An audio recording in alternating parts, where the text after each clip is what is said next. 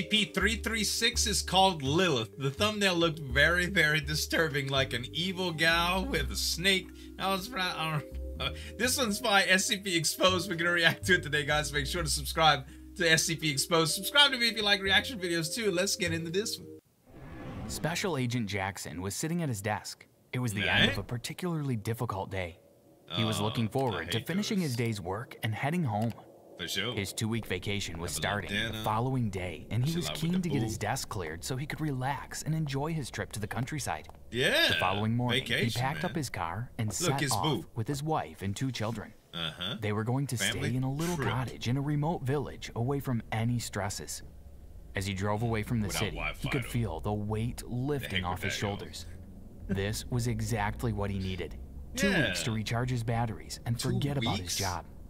It didn't take long for them to reach the cottage. It was exactly how he had imagined it. Nice. The garden full of flowers and ivy growing up the walls. They went inside and were pleased to see the interior was just as beautiful as the outside. I'll pop down to the corner shop to pick up some supplies while you and the kids unpack. Yo, didn't get that Agent on the Jackson way? jumped into his car and drove the short distance back to the village. He parked the car and went to the little store. It's like a little After bait paying for his shop groceries, he was about shop. to get straight back into the car when he suddenly decided he would explore the village for a while. As he wandered the narrow streets, Okay. he felt his heart singing with joy. It felt good not to be thinking about work. He passed Yeah. by a little pub and a butcher about shop, work? people smiling at him as he went. He had just Something's walked past a little this, flower shop when something made him stop. Something's up with He this. had no idea why, but he suddenly had an urge to go back to the shop. He never usually bought his wife flowers, but for some reason, he decided to go in. You know, As he entered the I shop, my a little bell often. tinkled. The smell of roses and poppies hit him as soon as he went in. Mm-hmm. The owner of the shop turned to greet him. She was a tall, slender, pale-skinned woman, no more Okay. than 30 years old. But instead of asking him what she could help him with, she began to close up the shop. Where are you going? The same place you're going, I suppose. Later that evening, Sorry, Agent what? Jackson took the woman to a nearby Foundation facility. Welcome back to SCP What? Exposed. Today, we bring you the Euclid class What? subject SCP-336. That's Lilith? But before I go on, don't forget to subscribe to our channel so you We won't got miss you, out buddy. on any SCP stories. Tell us more about Lilith. SCP-336 appears to be a pale-skinned human female of otherwise Arabic or Middle Eastern descent What? in her Why late is she 20s. Is that a? She is 1.73 meters in height and weighs 68 kilograms Or is as that of a her last physical. Subject requires Like, no sleep or eat nobody. sustenance and does not appear to be affected by aging or sickness of any nature. Okay. The object is anatomically human with the exception of dermal irregularities along the thighs and calves, which appear structurally similar to reptilian scales. So you got some scales. SCP-336 is to be provided with living quarters thumbnail. 6 meters by 6 meters in size, maintained regularly. This maintenance, as well What's as up with your all other mouth, tasks requiring direct contact with SCP-336, are to be carried out exclusively by female personnel. Ah, so she may make requests for furnishings or items. Approval of these requests is contingent on her cooperation with personnel Sure. and subject to the project's head researcher's approval. Requests for access to anomalous or dangerous items are to be denied. Yeah. Bouquets of guess so. poppy and white roses are to be provided and replaced as needed, with Okay. the current rate of decay requiring replacement once every three months. A single Okay. mirror treated with AgNO3 is to be provided and similarly maintained. AgNO3? A voice modulator device fitted over Oh, SCP-336's mouth is to be checked and maintained by Level 0 personnel weekly. Okay. The modulator may be unlocked with a six-digit combination provided to personnel Level 2 and higher for the purpose of testing SCP-336. Gotcha. In the event of the device's failure or unintended deactivation, local lockdown procedures are to be respected until SCP-336 has been isolated. what? SCP-336, preferring to be known as Lilith, behaves impassively and is detached with regards to human beings and demonstrates highly introverted behavior, Okay. normally preferring privacy to interaction amongst Foundation staff. The subject is highly intelligent and coldly analytical, having scored in the 95th percentile analytical. or above in most intelligence tests. That's interesting. SCP-336 is capable of influencing sentient thought through verbal suggestion and is Ah. able to manipulate a subject's actions in all cases that do not conflict with self-preservation. okay. This effect is psychic in nature, as it has been seen to affect the deaf no differently.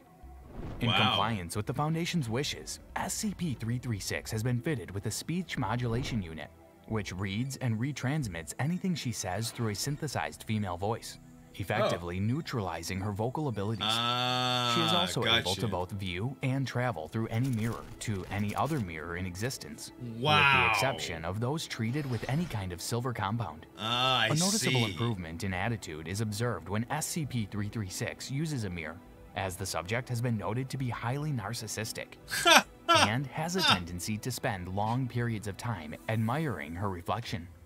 Weird, Human subjects dude. directly exposed Very to weird. the unobstructed vocalizations of SCP-336 experience one of two effects, depending Okay. on the presence of a Y chromosome in the subject's genome. Uh-huh. Subjects lacking a Y chromosome and possessing otherwise healthy reproductive systems will experience inexplicable infertility. The duration of this infertility varies, but is Wow. directly proportional to the length of exposure.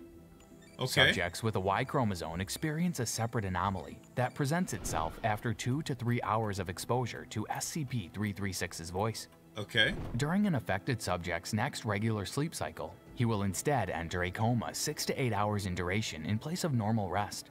Okay. Over the course of this coma, approximately 100 grams of non-essential tissue, typically from the subject's rib cage, will separate from the subject seamlessly and inexplicably increase in mass?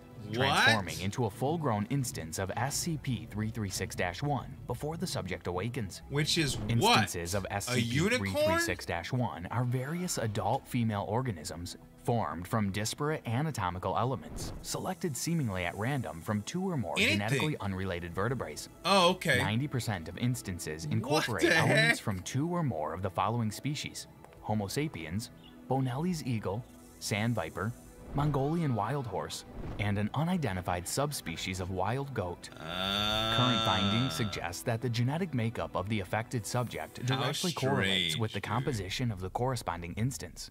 Research is ongoing. The majority of these hybrids are not anatomically weird, viable man. and typically expire within two weeks. Oh. Surviving instances are irrationally So, violent and yeah. demonstrate no evidence of higher intelligence. Gotcha. SCP-336 has demonstrated mild disdain for instances of SCP-336-1 and has been reluctant to discuss both the organisms and the means of their creation. Just don't want to talk As about it. SCP-336 has been otherwise cooperative with Foundation personnel, the reason for this behavior is unknown. don't like it. Recent experimentation has But you made identified an Yeah, irregularity don't like in the I don't wanna object's talk about it. effects on subjects whose Y chromosomes exhibit the Cohen-Modal haplotype. Instances of SCP-336-1 formed from such subjects are exclusively Homo sapiens, with no hybridized anatomy. Additionally, these instances demonstrate intelligence and limited innate knowledge, including fluent speech in the subject's native language. Two of these instances have been retained for long-term study. okay. SCP-336 was originally found operating a flower shop in a small village. Yeah. When questioned about the shop, local residents reported that it had always been there despite no records on file indicating Weird. its existence. Despite this, examination of the building's foundations indicate that it had far preceded human settlement in the region. Really? When a Foundation agent encountered the shop on vacation, SCP-336 approached him and began to close the shop. On Right. inquiring where she was going, she answered, The same place you're going, I suppose. She returned with him to a nearby Foundation facility before being relocated to Site 17. That's interesting. SCP-336 has made several comments relating to SCP-073, a Oh. heavily tanned male of Arabic or Middle Eastern descent in his early 30s, and to SCP-076, a large black stone with a humanoid inside.